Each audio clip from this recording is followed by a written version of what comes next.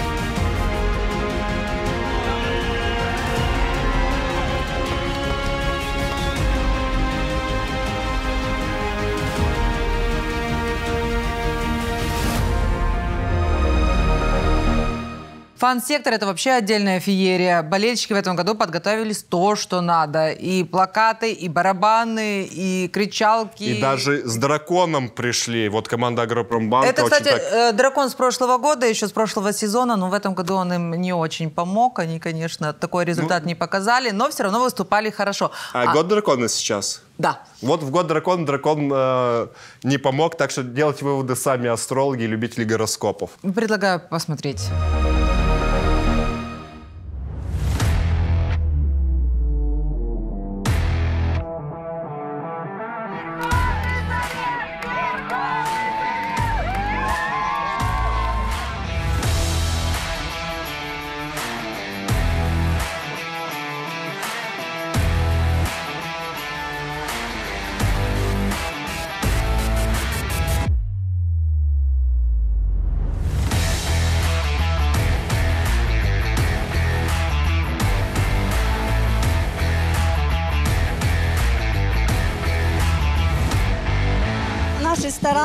Наши э, ребята молодцы, они тренируются регулярно.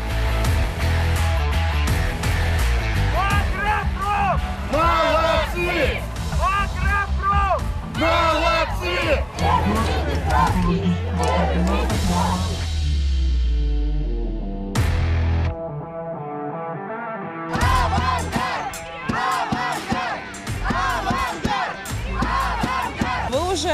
Наш талисман вместе со своим барабаном.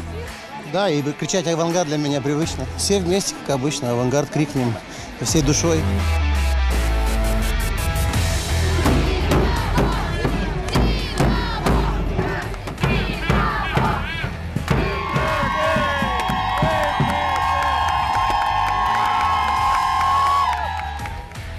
Конечно, мы подготовились для того, чтобы поддержать наших ребят, э, чтобы они не чувствовали себя одиноко.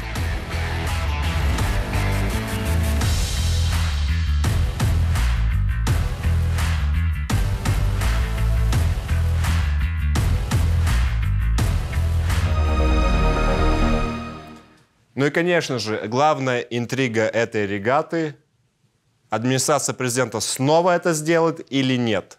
Спойлер, не получилось, и это сенсация. Да, к сожалению. Ну, кому-то и к счастью, это есть. спорт, это конкуренция. И все-таки вот адми- администрация, команда администрации президента выиграл две регаты и суперкубок выиграли, получили мастеров спорта. Но вот настало время других, и я думаю, что наоборот для ребят из администрации президента будет стимулом э, вернуться и вернуть себе заслуженный кубок и золото.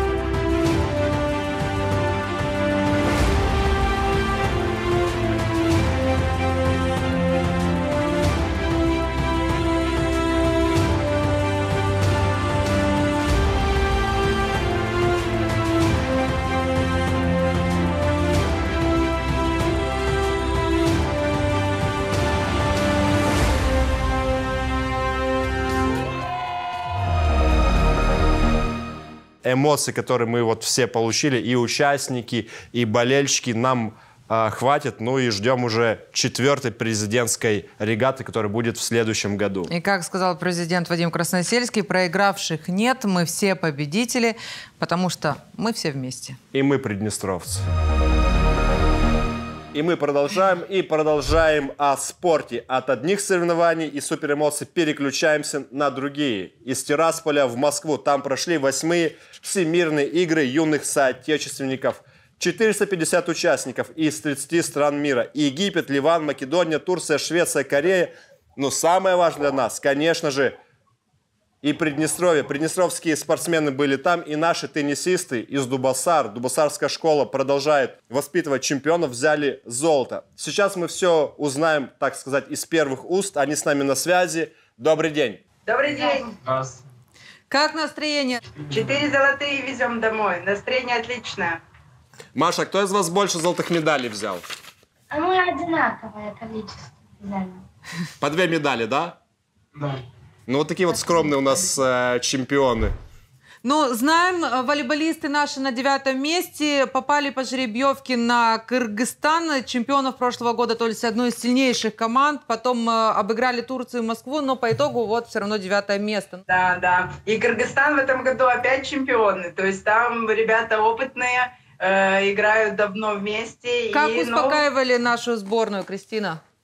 Наших ребят. Ну, э, обсудили ошибки, э, сделали выводы, над чем работать дальше и вперед. Я, э, они успели недолго расстраиваться, потому что у нас такой график напряженный, ни секунды покоя, мы сразу на экскурсию, только не успели поесть, и они отвлеклись на Красной площади, потом в Третьяковской галерее, и продолжили проводить хорошо время. Вот в этом организаторы молодцы, конечно. Да, мы, а, мы следили за вашим выступлением а, в Москве, очень много видео в социальных сетях, но для меня, конечно же, самое запоминающееся – это вы, флаг Приднестровья и Лужники.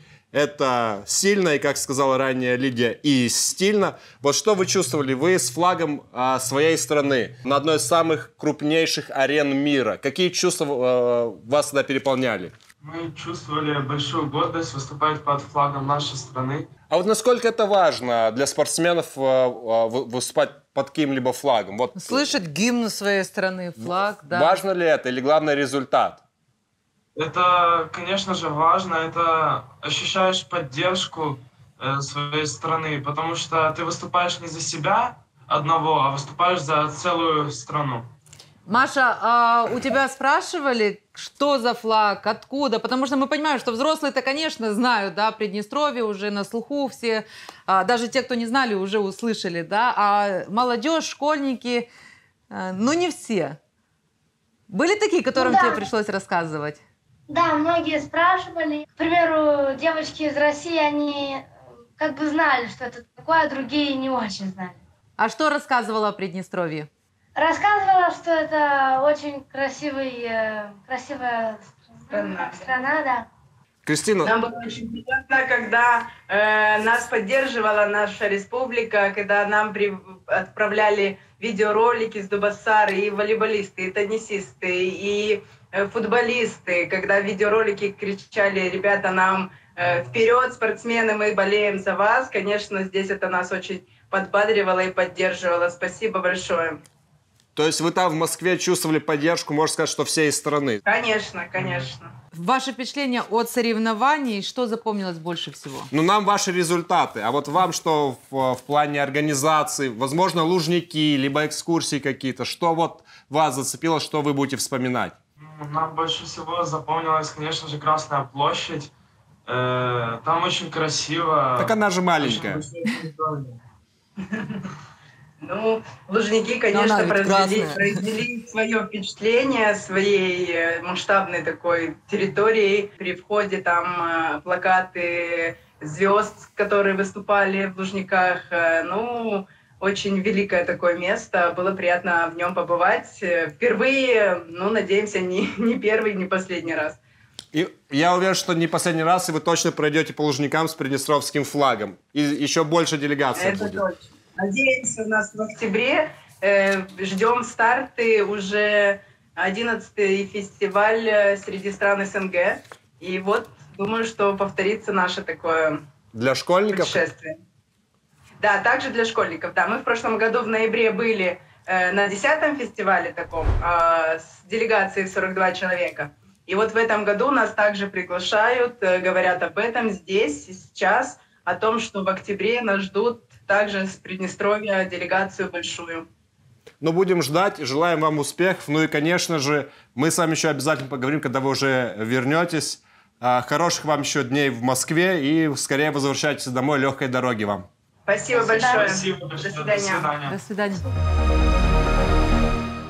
Мы продолжаем, и у нас э, в студии Олег Беляков, сопредседатель Объединенной контрольной комиссии от Приднестровья. Олег Леонидович, здравствуйте. Здравствуйте. Олег Леонидович, вот э, на этой неделе обсуждали видео из социальных сетей, из ТикТока. Над зоной безопасности, над Бендерами э, пролетал э, самолет. Вот давайте его сейчас посмотрим. Уже забыл, когда над нашей территорией летали самолеты. Да, это, конечно, видно, что не пассажирский самолет, но все же он куда-то летит и над нашей территорией. Подозрительно.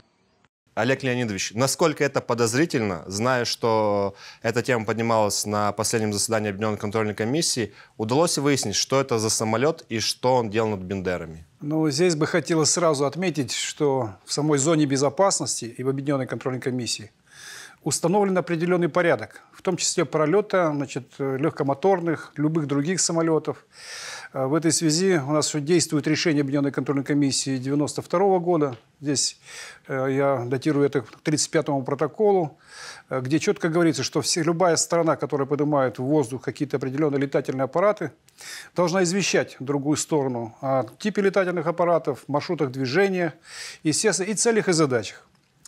Если мы с вами помним, значит, в ближайшую, скажем, такую историю, то неоднократно молдавская сторона значит, проводила картографию с точки зрения использования таких же самолетов, которые делали аэрофотосъемку, и тем самым значит, создавали какие-то определенные значит, карты для местности, какой-то учета местности и так далее. Мы всегда в этой части выступали против, что на своей территории мы способны сами проводить определенные эти мероприятия своими силами, и на нашей территории, в принципе, это недопустимо. Но, тем не менее, несколько раз значит, легкомоторные самолеты, взлетавшие из Румынии, значит, пересекали зону безопасности. Об этом мы инициировали соответствующий ди- диалог в рамках Объединенной контрольной комиссии. И таким образом значит, инцидент был исчерпан. Вот в этой ситуации, которая произошла буквально недавно, несколько дней назад в этой части, значит, это исключительно, скажем, такой, значит, хаотичный а, пролет, а, о котором нам ничего вразумительного мы пока, значит, с точки зрения информации от молдавской стороны получить не сумели, но тем не менее а, планируем более детально изучить, поскольку у нас же тоже есть определенные системы контроля в этой части. То есть Мы- вы уверены, что все-таки самолет с молдавской стороны? ну, по большому Не счету, наш. го- город Бендеры мы, мы не, мы не взлетали точно. Мы не взлетали точно. Это, и тем более съемка идет э, значит, на территории города Бендеры, района с повышенным режимом безопасности. Я думаю, что в ближайшее мы, значит, э, время разберемся и в этой части поставим все акценты в рамках Объединенной контрольной комиссии для того, чтобы все-таки значит, выяснить эту ситуацию в полном объеме. Ну, еще один вопрос, который поднимали на этой неделе на ОКК, это очередное передвижение э, военной техники по дорогам Молдовы, очередные учения, которые... Техника направлялась в Бульбоки, и там Министерство обороны Молдовы уже заявили официально о том, что да, в течение двух месяцев э, граждане Молдовы должны быть готовы, что по ночам у них будет громыхать, стучать, и техника будет ехать в своем направлении. Опять же, э, почему нас это интересует? Потому что, повторюсь еще раз, техника направляется в Бульбоки, да, то есть там очередные учения. То есть 12 километров к Приднестровью. Расстояние очень небольшое. Олег Леонидович, что э, ОКК на этот раз э, со стороны Молдовы говорит? Потому что мы знаем, что это неоднократно Приднестровская сторона поднимает этот вопрос. И Да, действительно, в рамках Объединенной контрольной комиссии а, вопрос передвижения техники, наличия его на, на значит, непосредственно полигоне Бульбока, проведения различного рода стрельб, учений, а он не может нас не беспокоить, поскольку это непосредственно близость как к городу Бендеры, так и к городу Григориополь. Значит, в этой части даже до Григориополя там расстояние еще меньше, чем до Бендер. До Бендер.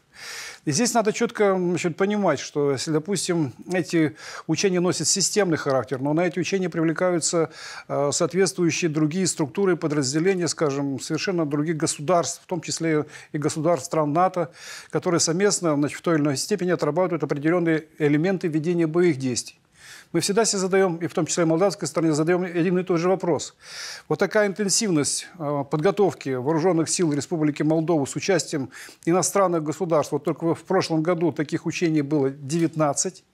В этом году уже значит, порядка 9. 9 Но так- создается впечатление, что они уже не прекращают эти учения. Да, не то вот с и, натовским, а, то своих резервистов гоняют. Анонсирование этих учений идет постоянно, и вот даже последний, уже даже и июнь, и июль, все тоже идет мобилизация в этой части, анонсирование того, что происходит на, на полигоне Бульбока, но мы находимся в непосредственной близости, мы все это слышим.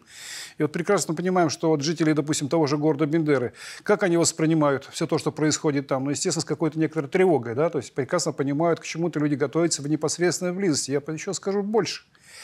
Дело в том, что вот та техника, которую мы с вами видим, заходит непосредственно на полигон Бульбоки, она оттуда не уходит. Она там складируется, остается, вот в этой части создаются определенные а, условия для базирования этой техники в непосредственной близости от зоны безопасности.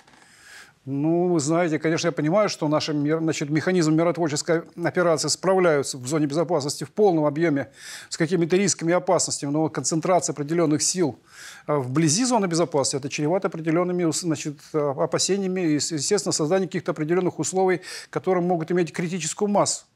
И в этой основе мы неоднократно в этой части обращаемся к молдавской стороне, э, пос- постоянно говорим о том, что много же других полигонов, которые могут иметь место на территории Республики Молдова. Зачем это инициировать все вблизи самой миротворческой операции, где которая успешно выполняет свои обязанности? Зачем ее провоцировать с точки зрения того, что действительно значит, сами миротворцы находятся в определенном напряжении. Вы прекрасно понимаете, что все, говорится, все, все взаимосвязано в этом мире, и ничего раздельно быть не может.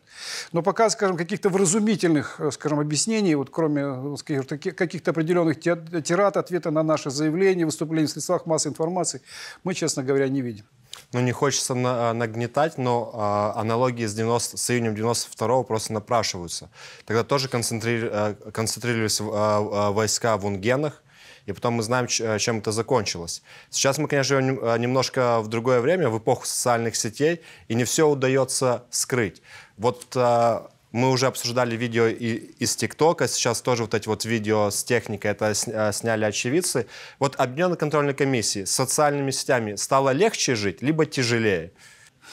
Ну, мы прекрасно понимаем, что кроме а, соцсетей о, у нас есть везде, как говорят, свои глаза, Глаза и уши. Глаза и уши. Мы то, что видим, скажем, в рамках, в рамках соцсетей, это одна сторона вопроса, но мы знаем гораздо больше, чем показывают по телевизору или где-то в интернете и так далее.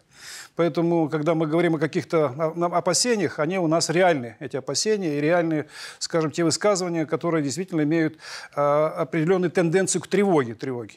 Я с вами абсолютно согласен, что значит, события 92 года, но есть маленький фактор, что тогда не было миротворческой операции. Сегодня значит, действует миротворческая операция, это тоже определенный значит, воинский контингент, который развел конфликтующие стороны. Сегодня в этой зоне а, значит, воинских подразделений конфликтующих сторон нету. То есть для того, чтобы сюда войти, ну, значит, нужно столкнуться с самой миротворческой операцией. Ну, я так думаю, что пока это никому не нужно, и нико- никто к этому не стремится. И сама работа Объединенной контрольной комиссии миротворческих сил показывает, что э, все стороны в рамках э, самой Объединенной контрольной комиссии, самой миротворческой операции ведут себя адекватно вполне и выполняют все задачи, которые перед ней стоят. Никита сказал, не хочется нагнетать, но понагнетал, как ну, говорится. Но А, все-таки сам факт концентрации войск вбли- вблизи нашей страны, Не, ну, как не хочешь, это безусловно. напрягает. Олег Леонидович, э, так что ситуация по-прежнему стабильная и контролируемая? Но это бесспорно. э, Такая вот э, самоутвержденность, она вытекает не из каких-то определенных голословных, скажем, составляющих. Она вытекла, вытекает из докладов Объединенного военного командования, которые поступают в Объединенную контрольную комиссию еженедельно.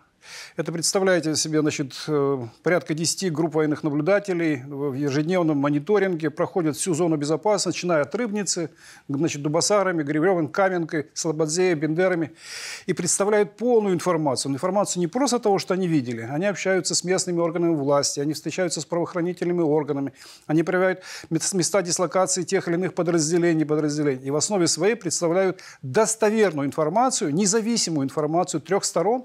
Представители Украины сейчас не участвуют э, в режиме наблюдения за зоной безопасности, они значит, выбыли на территорию значит, своей страны, но тем не менее трехсторонний формат остался. Это российская составляющая, молдавская и приднестровская. И вот то, что происходит на территории Республики Молдова, то, что происходит на территории Приднестровья в зоне безопасности, эта информация достоверная, она является объективной. И мы еженедельно говорим, что сегодня ситуация находится под полным контролем совместных миротворческих сил. И это хорошо. Итак, э, следующая тема. Мы уже от военной переходим к экономической. К сожалению, Молдова продолжает оказывать экономическое давление. И вот э, новость.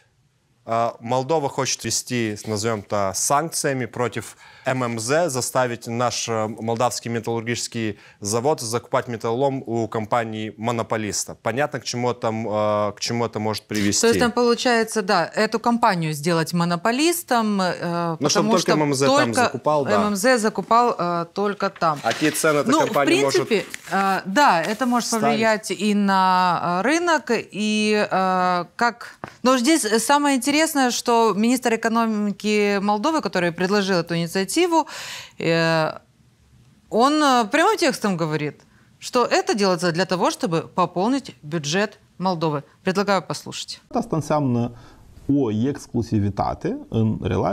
Это означает, что предприятие «Металлоферос» будет единственным поставщиком для ММЗ. Это решение направлено исключительно на металлургический завод. То есть завод в Рыбнице сможет покупать отходы черных металлов только у «Металлферос». Asta s-a făcut pentru... Это было сделано, потому что нам надо больше средств в бюджет, и в этом мы видим источник доходов в госбюджет. Но вы знаете, вот эти решения, которые в последнее время принимает э, руководство Молдовы в части вот этих новых инициатив, они близки к политике, значит, далеки от экономики. Прекрасно понимаем, чтобы функционировать заводы ОМЗ, значит, у него должен быть свободный рынок, как, говорится, по приобретению этого металла, так и по ре- реализации а, в этом контексте. Когда, значит, одна фирма будет приобретать металл и по своим ценам продавать его в ММЗ, ну, это уже, знаете, значит, элемент коррупции, значит, как такой государственной коррупции когда значит, все перед друг перед другом в этой части зависимы, и одна фирма рассчитывается со всеми и так далее. То есть где вот свободный рынок в Молдове, где их демократические ценности, где их стремление в Европ- Европейский Союз, если мы знаем, что уже другие государства по этому поводу уже реально возмущаются, что так делать нельзя. Ну а давайте возьмем нашу сторону, то есть э, чисто политическую составляющую, то есть ущемление наших прав граждан, значит, закрытие возможности, скажем, полноценно работать нашим предприятиям, заставлять их работать исключительно по значит, ценам, те, которые будет устанавливать Республика Молдова, ограничивать наши рынки, это опять же на- на- значит, ляжет на определенный дефицит нашего бюджета. Это наши пенсионеры, это наше здравоохранение, это наши школы и учителя, это, скажем, все то, что значит, мы называем нашим государством с точки зрения формирования всех тех вопросов, которые создают, создают социальную сторону нашей жизни. Естественно, возникает некоторая напряженность в обществе в этой части. Мы прекрасно понимаем. Для чего эта напряженность? Для того, чтобы, естественно, как, тем или иным образом влиять на Приднестровье с точки зрения договоренности в рамках политических аспектов. Вот эти все моменты, они, еще раз говорю, что они согласованы.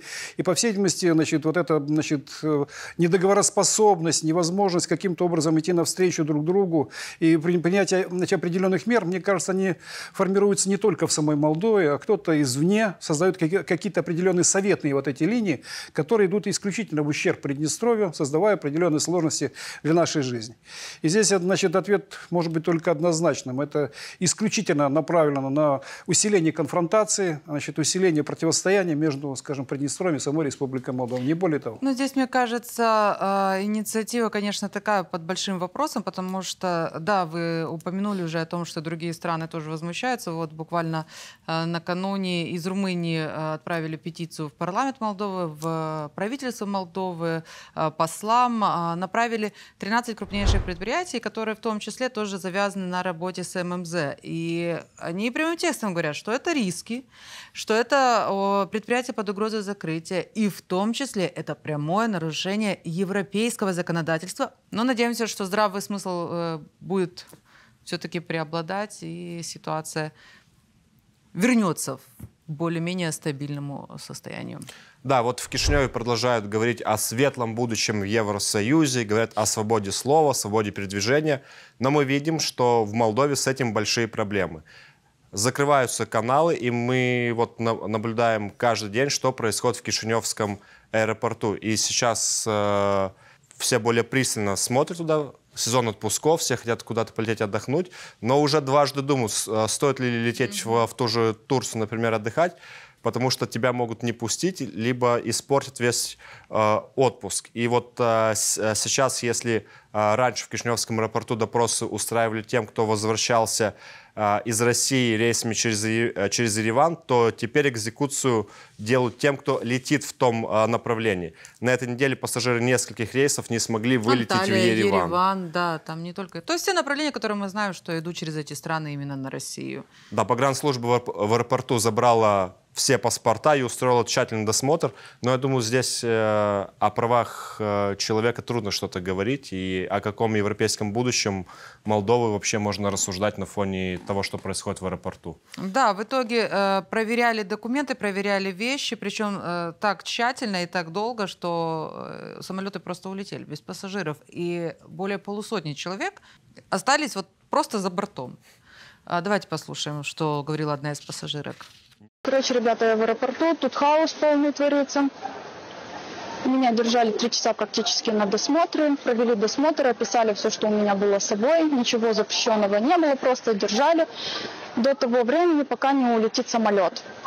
Когда самолет улетел, без каких-либо объяснений, сказали, девушка, на выход, вернули паспорт, Теперь иду искать свой чемодан, где он находится, тоже непонятно. Все вопросы сказали обращаться к компании, у которой заказывали билеты. Моральный ущерб и компенсацию билетов никто не хочет возвращать. Ну вот, короче, ребята, так и живем вот в такой стране.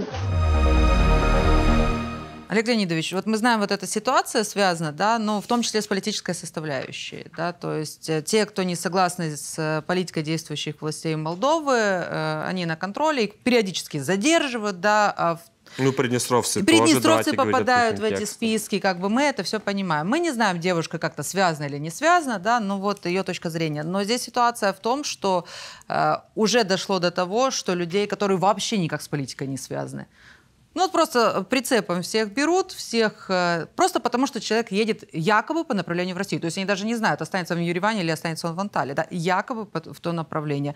Э, то есть это уже, ну вот, мне кажется, что это э, какая-то, не то что агония, но вот уже страх, просто какое-то вот ощущение, что зашкаливает. Ну, это что-то как что-то вроде как истерии. Ну вот. Э, Могут ли они? Чего они боятся? Они заявляют о демократическом обществе, о будущем с Евросоюзом, но вот получается тоталитаризм какой-то. Чего боятся власти Молдовы? Зачем так кошмар э, людей в аэропорту, в аэропорту, на ваш взгляд, Олег Леонидович? Ну, тут действительно надо с вами согласиться. Какая-то степень агонии, она прису присуща. Мы видим, что в преддверии э, предстоящих выборов делается все возможное и невозможное. То есть все демократические нормы, принципы, они теряют свой смысл, и люди действительно очень и очень страдают. Я даже вернусь опять к соглашению 92 года. Есть статья номер 5 которая говорит, что между Республикой Молдовой не должно быть каких-либо ограничений в рамках передвижения свободы людей, товаров, грузов. И если такие ограничения возникают, то стороны должны незамедлительно приступить к переговорам, переговорам на, на этой почве. Ну вот мы с вами эти детали видим, но никто к переговорам не приступает. То есть нарушение за нарушением. И в этой части, конечно, это в первую очередь отражается на права человека. Человек не должен быть ограничен в своих возможностях в рамках передвижения, в рамках выполнения своих каких-то определенных функций и так далее. Это не может делать ни одно государство в мире. В этой части все ратуют почему-то за права человека, и в то же время их глобально нарушают, эти права человека. И в этой основе значит, мы видим ту последовательность, скажем, действий определенных структур правоохранительных органов Республики Молдовы, которые далеко работают за правами тех документов, которые определяют их функционал деятельности на, на том или ином направлении. Они выполняют исключительно чей-то заказ, то чьи-то требования, исключительно чьи-то требования. Не в рамках инструкции, не в рамках положения, не в рамках законов. То есть они уже давно перешли эту грань. И в этой части, конечно, не можем мы не, вызывать озабоченность, поскольку это единственный коридор, который сегодня нас связывает с какими-то определенными элементами той же Европы, той же России и так далее, других направлений, как вы говорили, отдыха и выполнения своих каких-то определенных функциональных задач и так далее. Это, конечно, настораживает, когда маленький э, потенциал объекта, который действительно сегодня работает, работает, превратили, значит, естественно, в какой-то друшлаг, в котором издеваются над людьми в полном объеме. Спасибо вам большое за то, что пришли. Ну, хочется пожелать успехов только в И работе чтобы ОКК. ситуация оставалась всегда стабильной и контролируемой. Вроде все обсудили. Самое главное, что произошло на этой неделе, это был специальный разговор. И сегодня мы говорили, конечно же, о президентской регате, о нашем успехе в Москве на юношеских играх э, соотечественников. Обсудили, конечно же, по- политику, что происходит в зоне безопасности. Проблемы молдавского металлургического И кошмар э, в Кишиневском аэропорту. Вели сегодня для вас специальный разговор Никита Кондратов. И Лидия Салкуцан. Берегите себя.